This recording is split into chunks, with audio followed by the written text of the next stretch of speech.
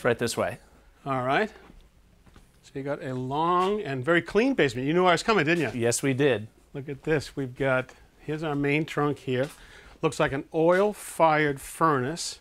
So that means you've got a burner right down here, and that's going to fire into a chamber, and that's going to heat up the air. There's a blower right here that's going to push the air up across a heat exchanger. Now it comes up, and there's, okay, there's a cooling coil back here, so now the air can go across a coil that's inside here to be cool the air in the summer, and the air goes out through this plenum. You can see right here, here's the return air. That's going to bring air back from the building, comes back here through a filter, uh, cleans the air, and then it goes back to be the reheated or recooled. Now, that blower pushes up through this plenum. You can see right here this insulated trunk right here. So now that air is going to push down this trunk, and you can see there's a series of branches that go out to the rooms right there. Looks like you got another one right here. You can see a branch. And now you get a sense now, when this air pushes down here, there's more and more resistance. So remember upstairs, there was a lot of air there, then less and yes. less and less and less, and that's really why. Okay. The other thing I can see right here is why your second floor doesn't have any heat. You, this is a branch right here, and this goes looks like it goes to the first floor. So that's about what eight feet long, and all these branches are the same diameter. And this one here looks like it goes to the second floor. Well, that might be 28 feet long. Where's the air going to go?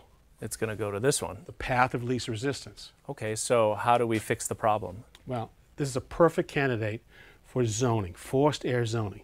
We can put in motorized dampers that can balance the whole system and make any room the right temperature. Sound good? That sounds great. All right. So what the guys are installing are these motorized dampers. They're blade-style dampers. You can see it right here.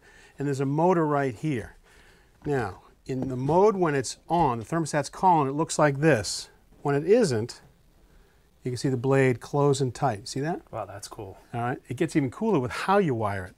So you can see this motor right here. And we're going to put one of these dampers on every single branch. So just imagine that these two are on the first floor branches. Well, if I wanted to wire it, I'll just come right here with a telephone jack, daisy chain them together.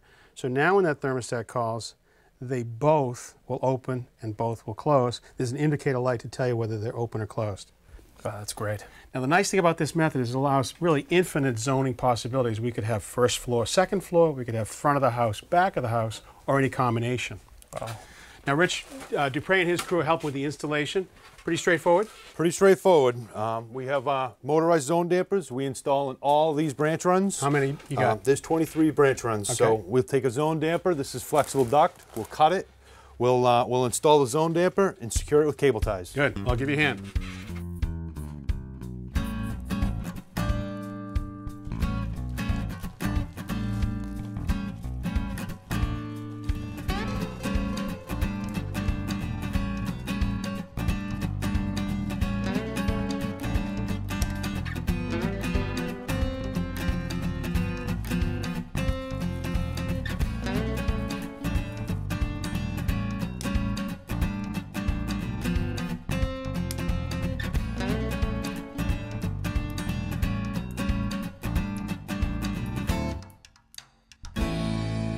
All of our new wiring comes back to this control panel. We need a way to communicate between the thermostats, the new zone dampers, and the furnace itself. You can see everything's color coded. Here's the first floor thermostat wires into this strip right here. Here's the second floor thermostat. And you can see right here the same going over to the furnace itself. The connections to the first floor zone dampers is right here with the phone jack connection.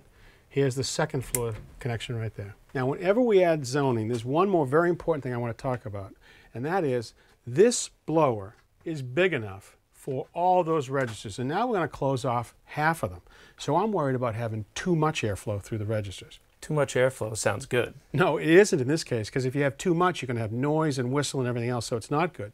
So what we need to do is to put in a thing called a bypass damper. Now this is a weighted damper right here. Now this is going to install right here between the supply trunk and the return trunk. So just imagine that the furnace comes on, the blower comes on, and now it's pushing out and it's half of it's closed off. Pressure builds up here. Instead of having to try to fight its way through the registers, we'll have it come down here. It would lift this damper, and that means some of the air would come right back into the return and go right back here, and that'll keep it quiet upstairs. That sounds great. All right.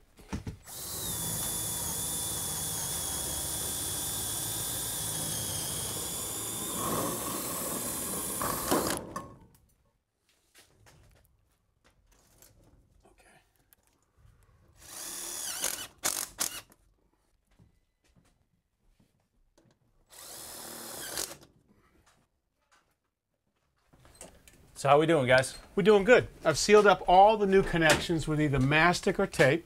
And I'm adjusting the weights on your bypass damper here so that we get the proper amount of airflow to all the registers upstairs. We're on the home stretch. Good job, Rich. Thanks. I got one more thing to show you upstairs.